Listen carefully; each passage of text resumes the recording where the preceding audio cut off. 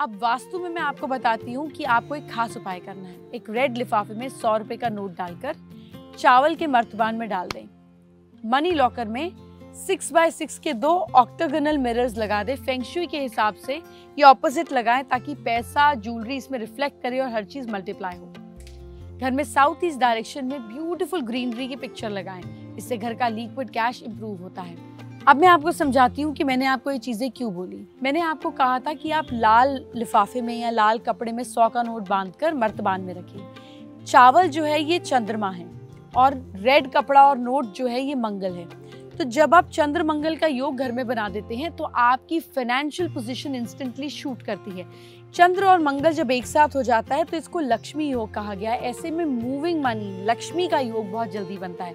तो अगर आपके चार्ट में योग मौजूद नहीं है तो आप अपने घर में तो क्रिएट कर सकते हैं। फिर मैंने आपको दूसरी चीज़ कही कि लॉकर में सिक्स बाय सिक्स इंच के दो ऑक्टागनल मिरर्स लगा लीजिए। सिक्स नंबर जो है, ये वीनस का है और मिरर भी वीनस का है। तो जब आप दो मिरर आसपास लगाते हैं और उसमें पैसा ज्वेलरी रिफ्लेक्ट करता है तो ये मल्टीपल चीज़ों का इफ़ेक्ट देता है। बिल्कुल वैसे ही, जब आप ट्राई रूम में जाते हैं, चारों तरफ़ शीशा होता है ट्राई रूम के, और आप कपड़े चेंज करते हैं तो आपको अपनी एक इमेज बीस जगह दिखती है, यू कर कर। मज़ा आता है ना देखने में?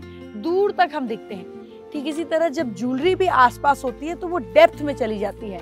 इतनी गुना मल्टीप्लीकेशन होती है। These are ways to plant intention in your house तीसरी चीज़ मैंने आपको कही साउथ ईस्ट पे ग्रीनरी का चार्ट लगा है। साउथ ईस्ट फायर की डायरेक्शन है और ग्रीन चीज़ लकड़ी का काम करती है। तो ये आपकी लिक्विड कैश में और ज़्यादा आग भड़काती है और पैसे लेकर आती है। Bye bye take care see you